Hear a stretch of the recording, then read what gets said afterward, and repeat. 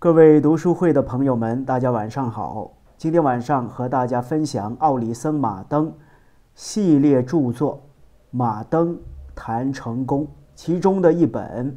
你的态度决定你的未来。这句话非常老套，却是一个事实。我们作为人呢，不要畏惧失败，大不了从头再来嘛。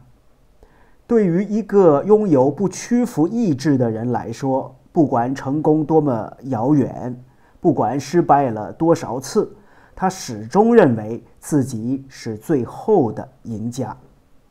一个人所有的资产都失去了，我们能称他们是失败者吗？不能。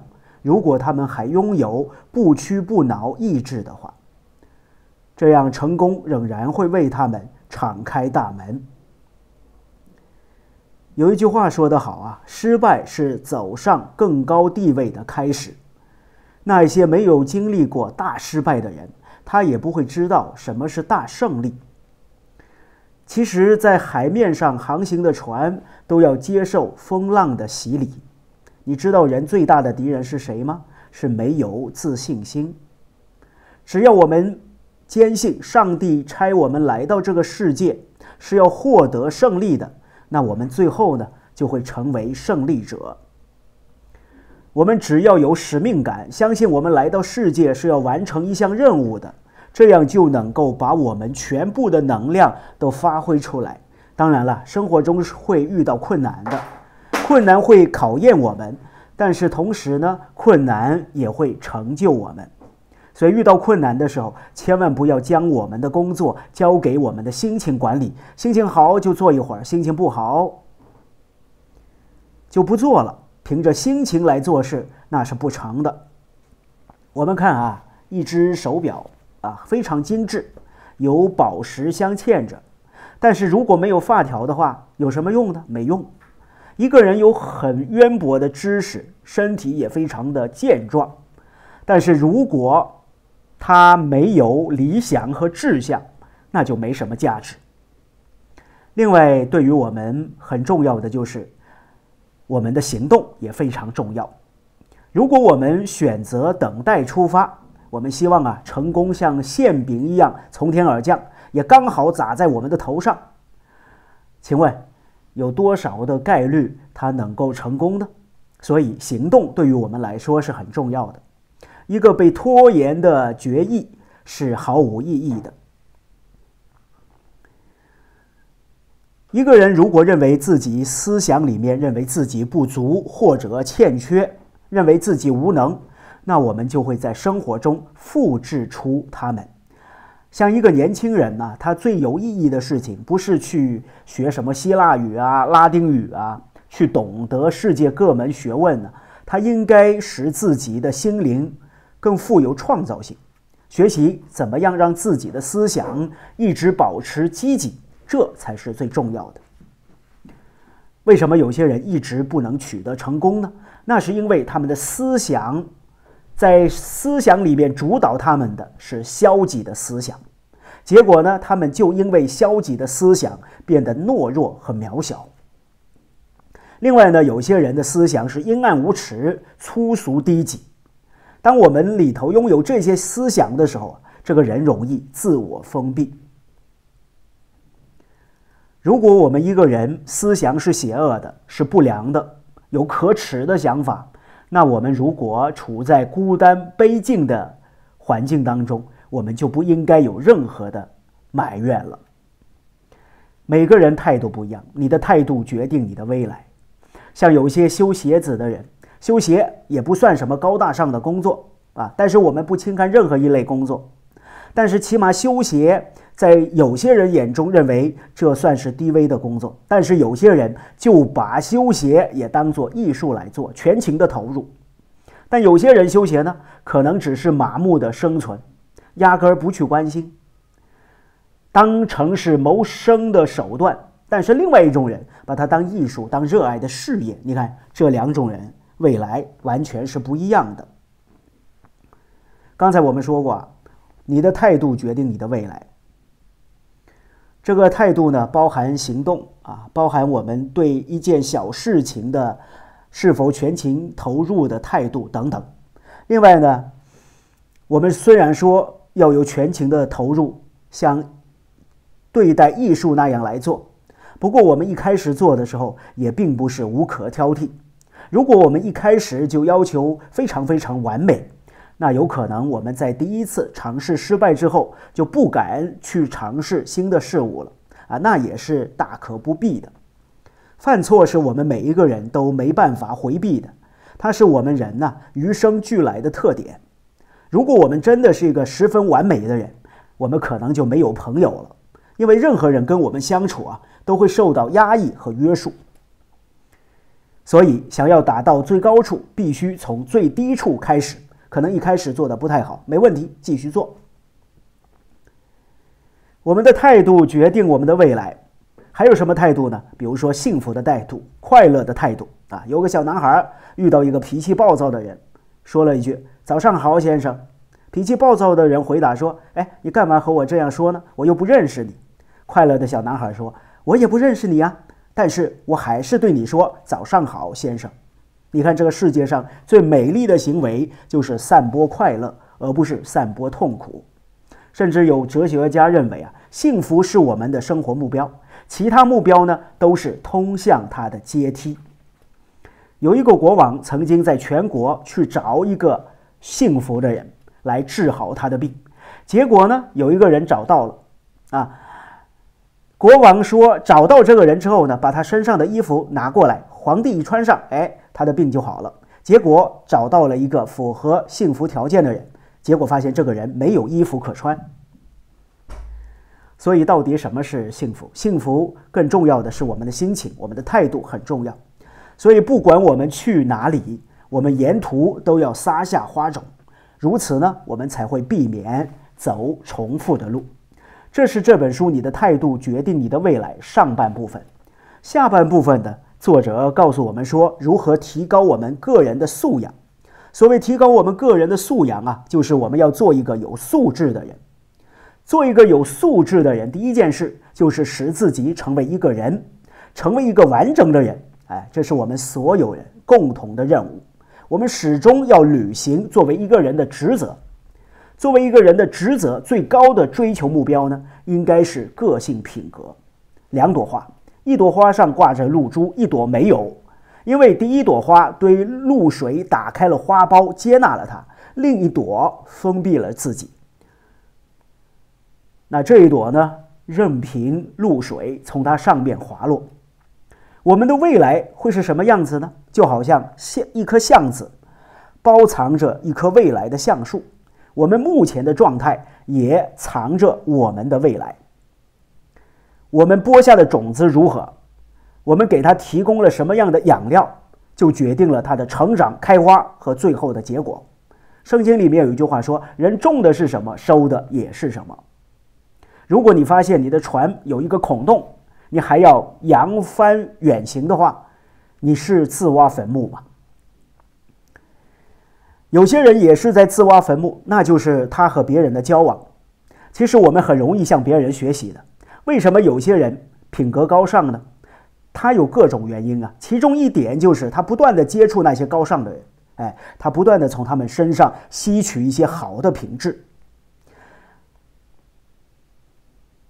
其中一个最重要的品质，很多伟大的人物、成功的人物，他身上有一个品质，就是坚韧不拔的个性。他可能有一些其他方面的弱点，但在这一点上，他们有共同点，就是坚韧不拔。有一位鸟类学家呀，他画了两百多幅自己亲手绘画的啊野野生鸟类图，结果呢，有一天被老鼠给啃吃了。啊，他被悲伤包围了。可是过了一几个星期之后，他又向森林的深处走去，又开始画。有一位作家写了法国革命史，后来不小心被女仆意外的烧掉了，巨大的打击呀！可是经过数个月之后，他又重新的把那一本书写出来了。啊，所以这些人都坚韧不拔。很多的事情，我们只要保持坚持，我们所面临的很多困难都会随着我们的不断前进而自行消失。毅力，毅力，毅力，这就是三个获得成功的必要条件。当我们坚韧不拔的坚持，机会就可能来敲我们的门了。除此之外呢，人际关系也非常重要。法国的皇帝拿破仑啊，战争的天才，但是在人际交往中呢，也表现出粗俗和专横。有时候他会对女士说：“哎呀，你知道吗？你已经不年轻。”你看，女士喜欢听这话，或者看到一位女士对他没什么好感，啊，拿破仑就会说：“哎，他们怎么会说你很漂亮呢？”言下之意说，其实你并不漂亮，哎，表示他的人际关系啊并不好。在生活中，我们知道有些人有色盲，没办法辨别颜色。可是，在人际交往上啊，有一种人呢，我们称为交际盲，哎，他不知道该怎么样说话和人打交道。如果我们比较老练，我们和别人见面的时候，应该找出对方的兴趣点，然后进行说话谈论。那不成熟的人呢，他话题的中心啊，永远是自己的事情，啊，这就难了。所以，交际能力很强的人，他可以马上打破僵局，让你感到好像在自己家中那样自在。善于交际的人呢，会让一个害羞、软弱、毫无社会经验的人马上放松下来，找到你的兴趣点和你谈论。哎，这样谈话才有意义嘛，轻松愉快嘛。那什么是最好的朋友呢？最好的朋友啊，绝对不是在你跌倒时一定是。他拉你起来，他可能是教你如何自己爬起来。如果一艘船在平静的海面上航行，那你多年的驾驶经验技巧可能派不上用场。大浪翻滚的时候，狂风骤起的时候，这个时候就是考验我们技术经验的时刻了。作者在书里面的最后一部分呢？告诉我们珍惜时间，要让书籍来提高我们自己的品味。关于读书，这本书里面有很好的提醒。其实前人精心制选大量的著作，是我们最好的选择。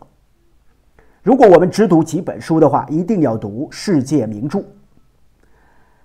甚至我们不需要太花费力气就能够找到它们。哪怕那些很不起眼的小小的图书馆，也有名著的存在。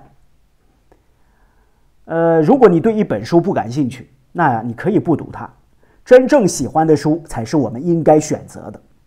你知道吗？在书籍上也有相互吸引的法则。你喜欢那一类书，那一类书也好像跟你有缘似的，突然来找你。读书啊，不一定。每一本书都开卷有益，有些人是被书毒害了的。在印度，有一位学识渊博的人，有一天在家中读书，翻到书的某一页的时候，指尖突然被刺痛了一下，原来藏着一条小小的毒蛇，后来中毒身亡。你知道吗？很多的书啊，里面是有毒蛇的，是有毒害的，甚至毒害人的一生啊。所以，对这些读书一定要敬而远之。有一个年轻人得到了一本不雅的读物，他把这本读物送给了他的同伴，同伴接手了，读过了。后来这个同伴开始成长了，在教堂供职，应该很神圣。可是他多年之后，他对他的朋友说：“他说，如果时间能倒回，我愿意用自己人生的一半所得，将你给我的那本书所带来的毒害抹去。有些书读过了就是读过了，一些毒害的思想。”留在你的脑海里很难涂抹，所以各位看书特别小心。我们的生命太短暂了，我们应该把时间花费在最好的著作上面，读一些经典，儒家的经典呐，国学经典呐，圣经啊等等。如果那些书不能够催你上进的，有百害而无一利。如果你去健身房，你就会发现的，有些人呢。健身不了的，啊，三分钟热度，然后呢，从一个项目游走到另外一个项目，举重一两分钟，又拿起哑铃试了两下，扔掉啊，又在单双杠杠上啊摇摆几次。这样的做法呢，不仅仅浪费了时间呢，而且对体力也造成了很大的耗损。如果我们真的要健身的话，要有系统指引进行锻炼，并且呢要持之以恒。读书也是一样，我们要避开疲劳期。另外呢，要有目的的阅读。如果你是有目的的阅读、提问式的阅读，我们会因为阅读的目的性而获得最大的满足。读书读完之后，很重要的要有一个习惯。就是合上书进行思考，或者是坐着思考，或者是走动着思考都可以。因为知识啊，转化为我们思想的一部分，在生活上进行运用，哎，这才真正为我所有。你第一次阅读一本书的时候，那还是作者的东西，融到我们体内之后，我们才是那一部分知识的主人。所以很多人呢，长期受着填鸭式教育的影响，不断的阅读却从来不思考，反而他自己思维的能力啊，逐渐的退化，啊，不划算。所以比起阅读来说，阅读之后的思考更加的必要啊，一定要进行思考。书籍最大的优点不是提供我们它的内容，而是给我们带来启发性和培养坚固我们品格的力量。所以，花一点时间读一些好书。每一个有成就的人都会奉行珍惜时间的生活原则，都会奉行珍惜时间的生活原则。这就是这本书的内容。你的态度决定你的未来。